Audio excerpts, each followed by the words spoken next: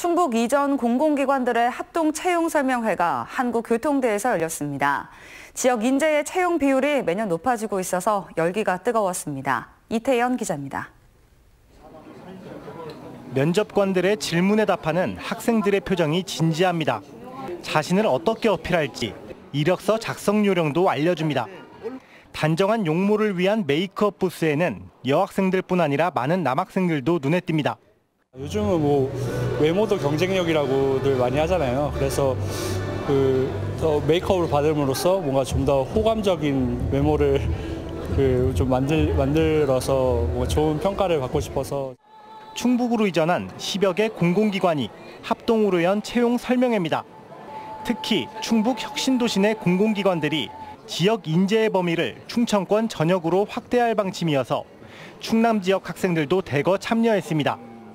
지역에 있다는 것 자체만으로 약간 수도권이나 학생들에게 밀리지 않을까라는 걱정을 되게 대학 다니면서도 많이 했는데요. 그런 걸 해소해주는 좋은 기회였던 것 같고 한편 지역 인재의 범위가 확대되면 혁신도시가 위치한 충북의 학생들에게 악재로 작용할 수 있다는 우려도 나오는 상황입니다. 충북은 혁신도시가 아닌 충남에 위치한 공공기관에서도 충북 학생들에게 지역 인재의 자격을 줄 것을 요구해 합의 과정에 돌입했습니다. 대전 지역 어, 그러니까 혁신도시법이 생기기 전에 이전한 공공기관까지 포함하는 것을 같이 추진을 하고 있기 때문에 많은 혜택이 있을 것으로 그렇게 생각을 하고 있습니다. 지난해부터 지역 인재 의무 고용 제도가 시작되면서 채용된 신입사원 중 충북 지역 졸업생들은 5명 중 1명꼴.